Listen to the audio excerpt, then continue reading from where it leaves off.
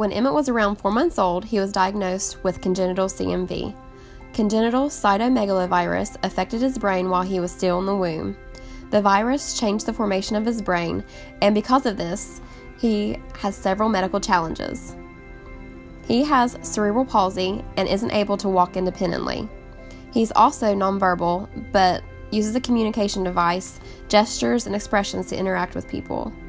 He began physical, occupational, and speech therapy at Milestones Physical Therapy in Hurricane, West Virginia.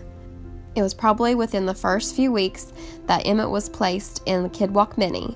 Hi, I'm Jerry Morgan, RPS Rehab Product Specialist for Quantum Rehab and Stealth Products in West Virginia and Western Maryland, Western PA. I've worked with Emmett at Milestones in Teays Valley, West Virginia um, mostly on his power chair that he drives with proximity sensors with his hands. It's given him so much independence and personality we wouldn't get to see otherwise. He's a very eager, intelligent little boy that wants to explore his environment. Uh, he loves to move, and if he's sitting still, he gets mad, so we want to enable him to keep moving. It has given him the ability to take part in activities like decorate our Christmas tree and host yard sales with us. He plays music in the living room with his stepdad while his guitar hangs from his neck. The KidWalk goes shopping to parties, and it allows him the ability to take part in holiday activities like hunting Easter eggs.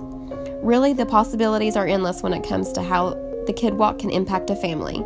My name is Ginny Paleg, and I'm a pediatric physical therapist in Silver Spring, Maryland. I watch Emmett and all the ways he uses his devices to explore and have fun and play with his little brother and it just makes me smile.